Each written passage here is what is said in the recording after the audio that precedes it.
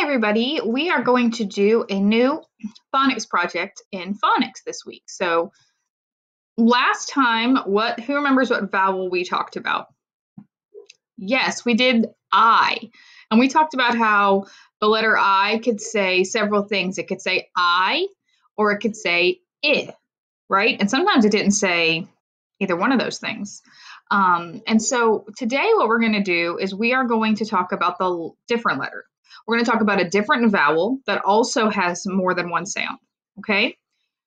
So let's look at what the first step of a phonics project is. So, step one, remember, is to collect words. Collect words. So, that's our first step. So, I'm going to show you what letter we're doing today. What letter is this? Yes, this is an A. And we're going to talk about how things can say A with A in it, or it can say A. So, and maybe um, it doesn't say either one of those. We'll have to see. So the first thing we're going to do is look at our collection. Let's look at the words I've collected and we can talk about all of them. And then we're going to sort them into two groups or maybe three groups. We'll see. All right, so let's start uncovering our word collections. Ready?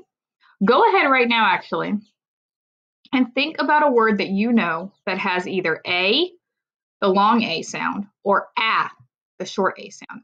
Go ahead and think of a word. All right, now maybe your word will be in here. Let's see. Here we go. The first one is acorn. Can you say acorn? So we have acorn. What's this one? Snake. Now remember, some of these are going to have um, A at the beginning, and some might have A inside the word. So we have acorn, snake, cake. Yep. What are those? Grapes. Good. Those are grapes. What's that? Bat. Bat. Mm-hmm. Do you know what that is? That's a crab. Can you say crab? Apple. And we have one more. Can't see it under my video, can you? Let's move it.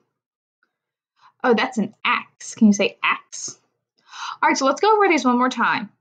Acorn, cake, snake, crab, bat, apple, grapes, and axe.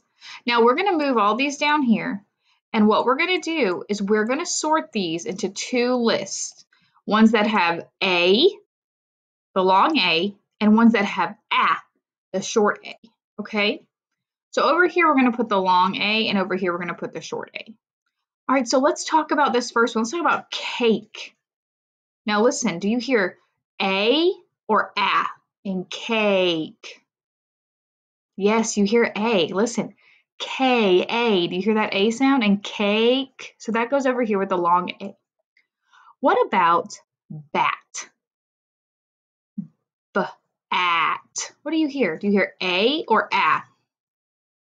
You hear A, B, A, at. So that one goes over here with the short A. All right, let's do the rest of these.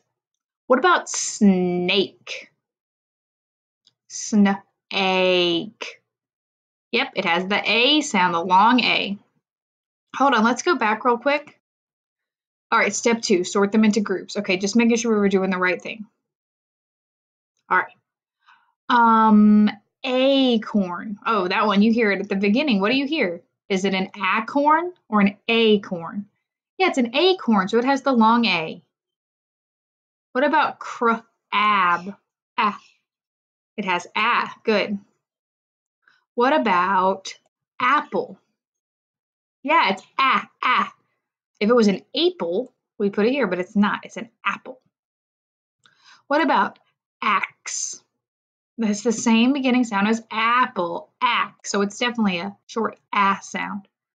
Now, what about grapes? What do you hear in the middle? Do you hear a or a? Say it again. Grapes. Yes, you hear an A sound.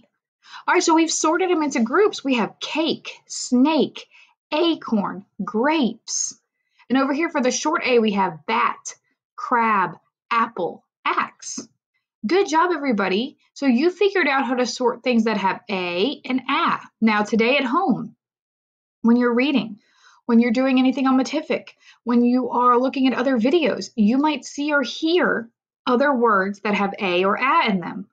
Okay, maybe for breakfast you had bacon. What would bacon have? It would have the long A. Yeah, bacon. Um, so you're going to listen for things at home that might have long A or short A and then talk about them. Let's go back and see what step three is. Okay, step three, play to learn more. That's what we're going to do tomorrow. Tomorrow we're going to have to do some playing with these with the short A and the long A sound, okay? But you guys did a great job. All right, good job. Bye.